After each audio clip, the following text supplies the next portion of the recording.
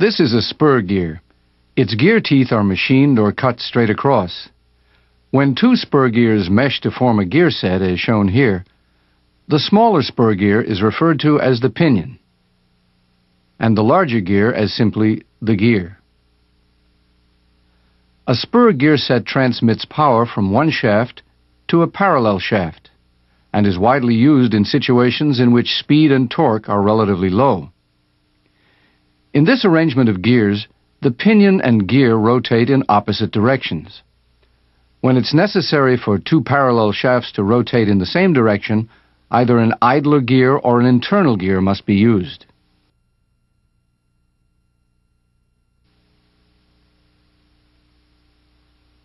The idler gear is just another spur gear that is mounted between the original gear and pinion.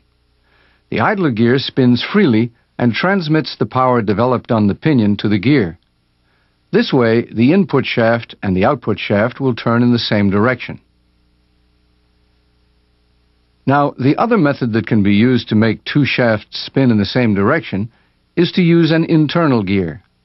In this example, the internal gear is also a spur gear. However, the internal spur gear's teeth are located on the inside of the cylinder instead of on the outside. In addition, the pinion is placed inside the internal gear. This arrangement allows the shafts to rotate in the same direction.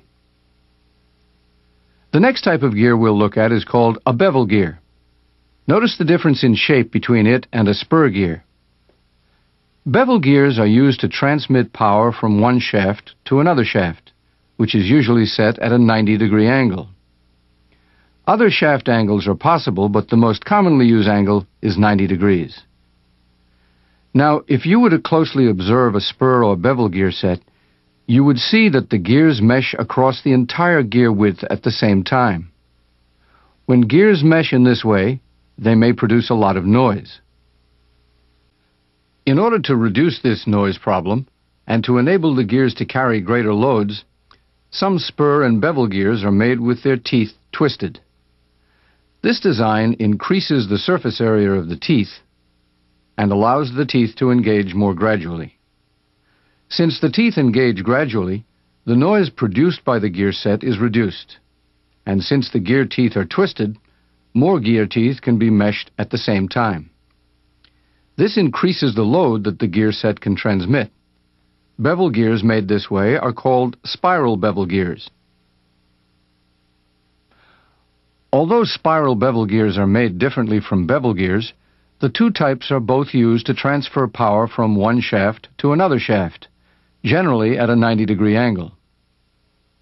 As you recall, a spur gear has straight teeth.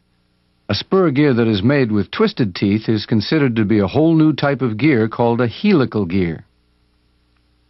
As two helical gears mesh, the contact between the two gears begins at one end of a tooth and extends gradually across the width of the tooth.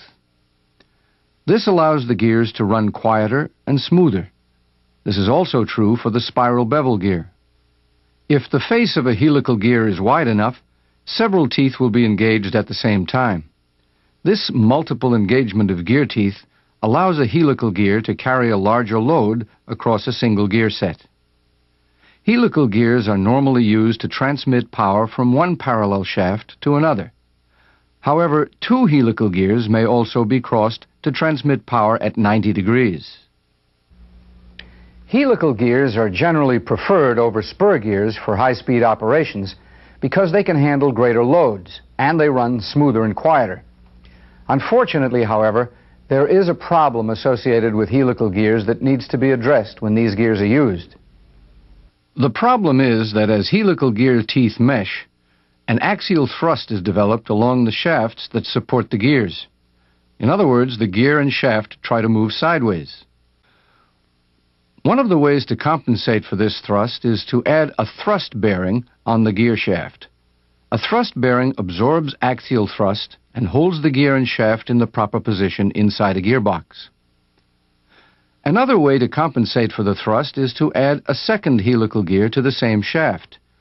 This second gear's teeth are sloped in the opposite direction from the first helical gear, which acts to effectively cancel the thrust developed by the first gear. This arrangement is called a double helical gear. If this type of gear's right and left hands or sides are cut on the same cylinder, as shown here, the entire unit is referred to as a herringbone gear. There are herringbone gears in which a gap has been manufactured between the two sets of teeth, and there are other herringbone gears which are manufactured without this gap. Now, the last type of gear we're going to look at in this part of the program is called a hypoid gear. This is a typical hypoid gear. A hypoid gear resembles the spiral bevel gear in some respects. For example, hypoid gears are shaped like spiral bevel gears, and hypoids are used on cross-axis shafts like bevel gear sets are. But unlike bevel gear sets, the shafts of hypoid gears do not line up with each other. They're offset. This offset allows hypoid pinions to have as few as five teeth in a high-ratio gear set, while the various types of bevel gears typically don't have less than 10 teeth on a pinion. The smaller number of teeth on a hypoid pinion means that larger ratios can be obtained with a hypoid gear set than with a bevel gear set of the same dimensions. The gears we've looked at are some of the most common types of gears that are used. But keep in mind, there are other types of gears as well. A worm gear set is characterized by one of its members having a screw thread. This part of the gear set is referred to as the worm. The other member of the gear set is called the worm gear, or just the gear. Worms are generally mounted on shafts, which are set at a 90 degree angle. Power is usually applied to the worm, which in turn drives the gear. The worm in a worm gear set is considered to be the pinion of the gear set.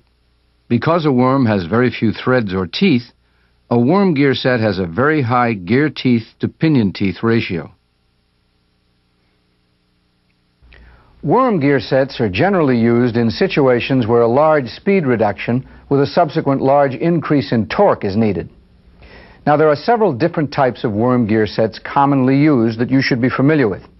Let's take a look at a couple of the most common. This is a single enveloping worm gear set.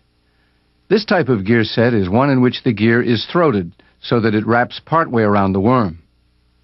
The contact area, or mesh, between the worm and the worm gear is significantly increased by this arrangement and allows a larger load to be carried across a single gear mesh.